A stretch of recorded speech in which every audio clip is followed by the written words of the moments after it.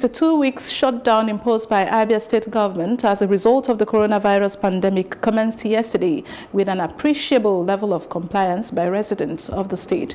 Only essential services critical to daily livelihood were allowed, while non-essential movements were restricted.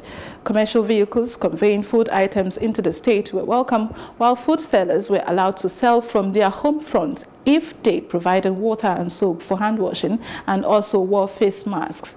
Bank services were available, but banks officials were compelled to provide water and soap for hand washing while customers were made to queue and observe the 1.5 meters social distancing and wear face masks as well.